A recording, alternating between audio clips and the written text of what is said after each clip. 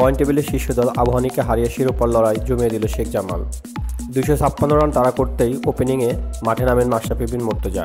দ্রুত রান করার লক্ষ্যেই মাঠে নামা তার। মাত্র আট বলে সাত রান করেই রাহির বলে বোল্ড হয়ে যান মাশরাফি। রাহির বোলিং টুপে উননব্বই রানেই পাঁচ উইকেট হারায় মাশরাফির আবহানি এদিকে বল হাতে বেশ ধারাবাহিক ছিল ম্যাচ। দশ ওভার বল করেই ছয়চল্লিশ রান দিয়ে তিন উইকেট। শেষ পর্যন্ত শেখ জামালের কাছে হারতে হয় আবহানির এবার লিগে দুর্দান্ত পারফর্ম করছেন দেশসেরা এই পেসার। ইতিমধ্যেই তেত্রিশটি উইকেট নিয়েছেন নড়াইল এক্সপ্রেস খ্যাত মাশরাফি বিন মুর্তজা।